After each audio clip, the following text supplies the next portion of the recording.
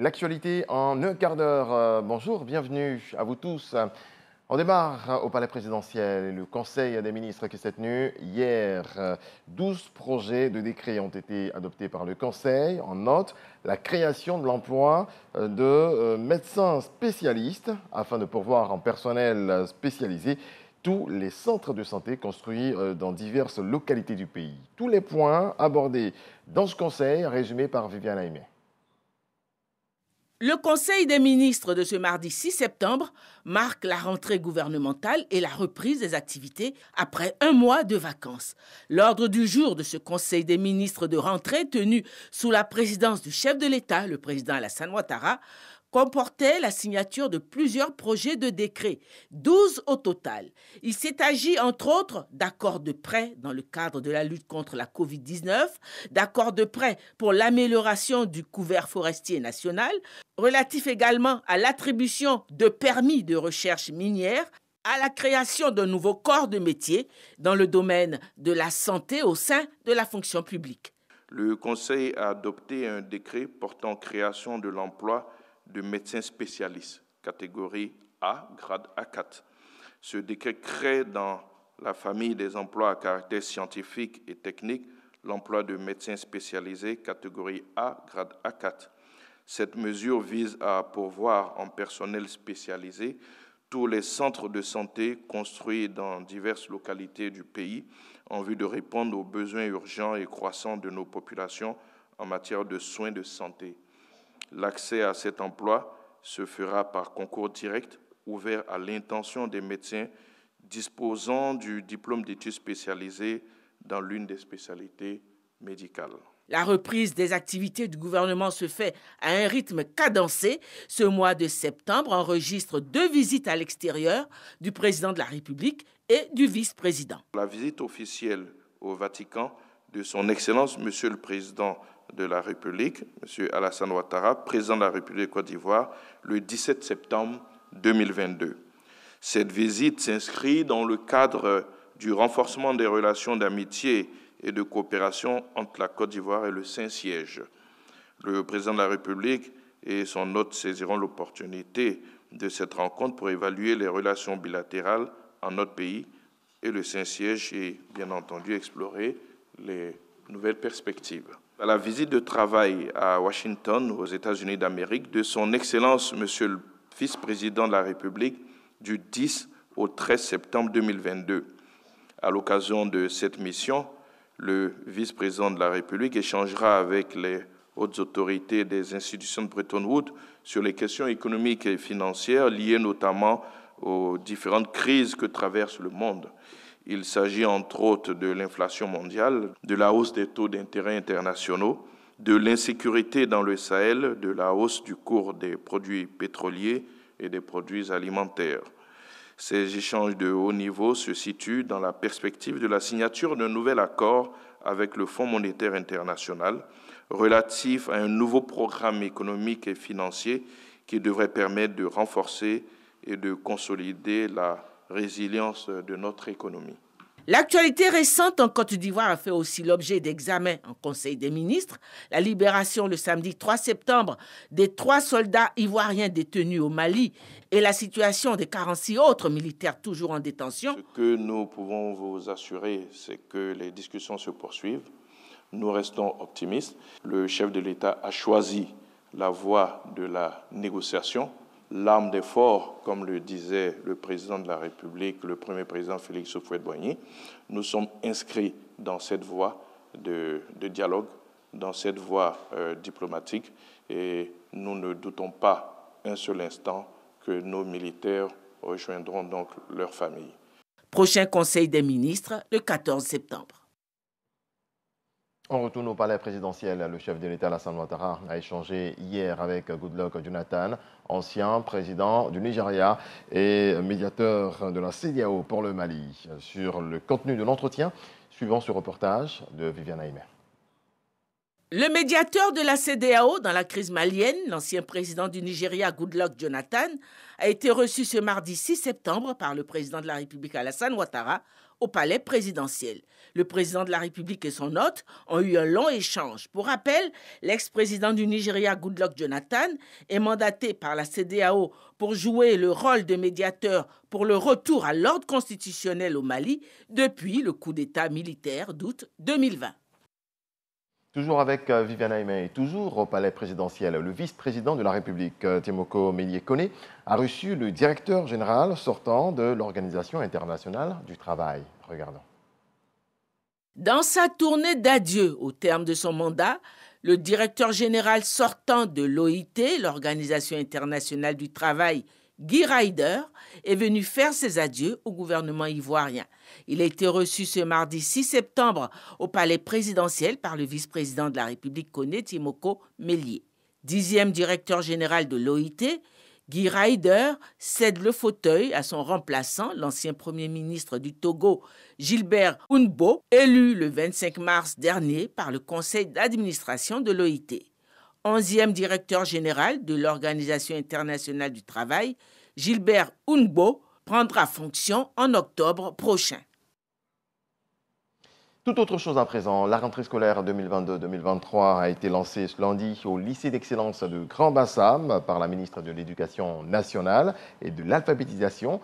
C'était au cours de la traditionnelle réunion de rentrée qui se tient chaque année à une semaine avant, une semaine avant le début des cours.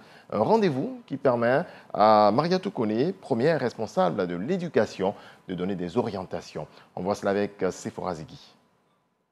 Soyons des citoyens engagés pour une école de qualité. C'est le mot d'ordre lancé par Maria Toukone face aux acteurs du système éducatif ivoirien. C'était à l'occasion de la traditionnelle réunion de rentrée scolaire. 60% des agents du ministère de l'Éducation nationale et de l'alphabétisation sont des fonctionnaires de l'État des Côtes d'Ivoire. Anne-Désirée Ouloto, la ministre de la fonction publique et de la modernisation de l'administration, est donc venue leur passer le message de l'apaisement du climat social sur les cinq prochaines années. Fonctionnaires et agents de l'État, l'État vous la nation vous regarde. Nous avons la chance d'avoir à la tête de l'État un président qui a entendu votre appel.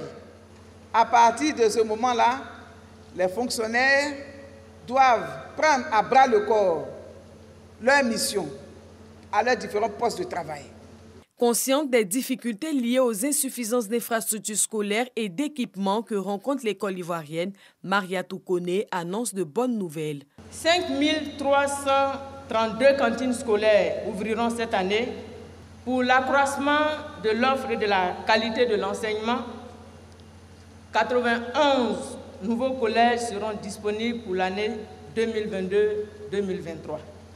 17 anciens collèges prennent le statut de lycée et 13 sont en cours d'ouverture de classes du second cycle.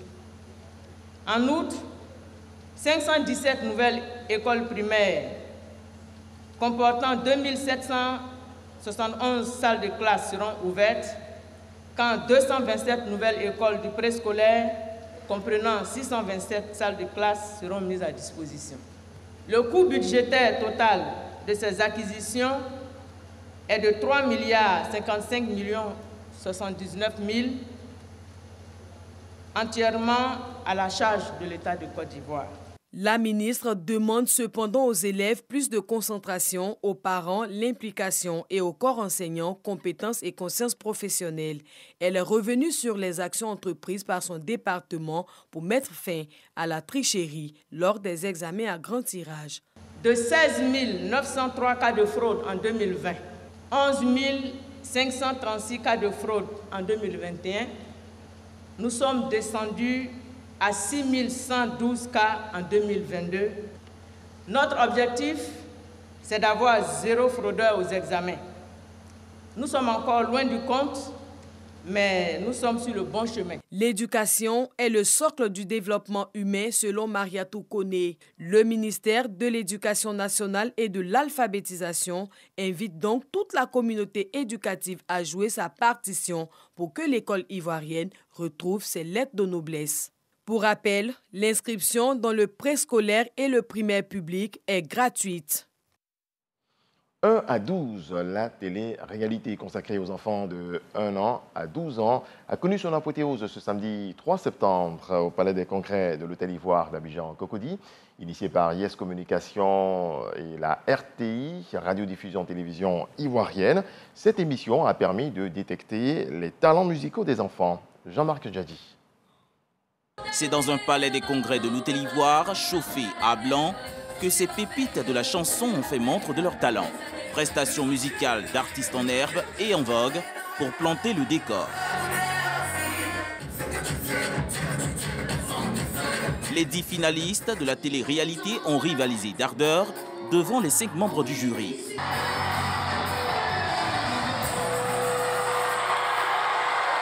Les candidats sont notés sur la base de la rythmique, la justesse et la force de la voix. Au final, le trio vainqueur, Judith Touri, Emmanuel Capot, Méline Taï, sort du lot.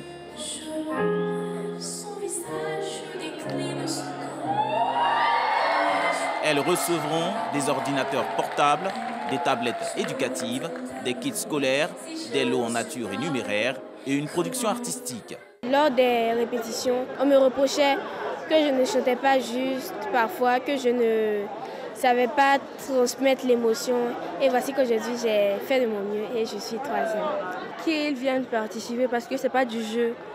Parce que si nous travaillons beaucoup et ils nous donnent aussi des, des bases, ils vont semer la graine et puis la graine va pousser après.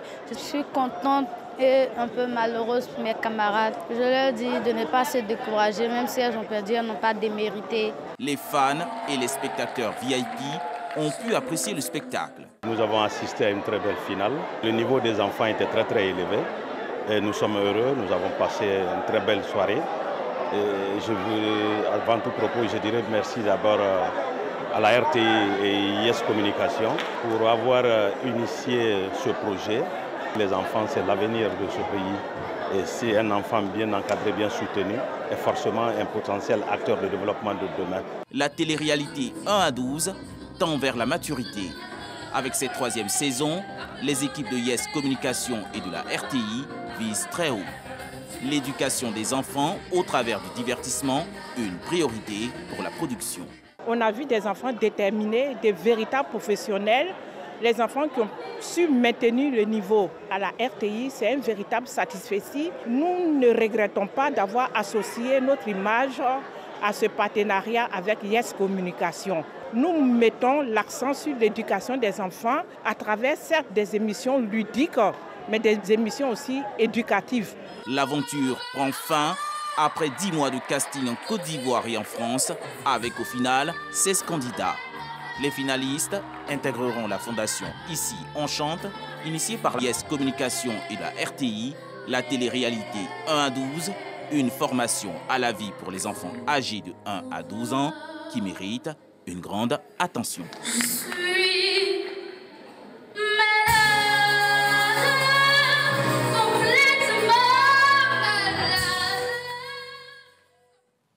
Du véritable talent.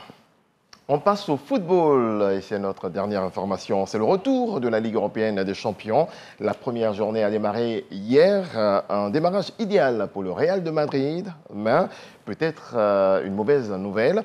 Le champion d'Europe sortant a parfaitement lancé la défense de son titre en balayant le Celtic à Glasgow, 3 buts à 0 en Écosse. En revanche, Karim Benzema est sorti sur blessure quelques résultats. Le Paris Saint-Germain a battu la Juventus de Turin sur ses installations 2 buts à 1. Chelsea, surpris par Zagreb, 1 but à 0. Manchester City a surclassé le FC Séville 4 buts à 0 et l'AC Milan a évité le piège de Red Bull Salzbourg. Un but partout, score final. Voilà, c'est tout pour ce rendez-vous de l'actualité. Merci à vous tous de votre attention. Je vous souhaite beaucoup de paix dans vos foyers.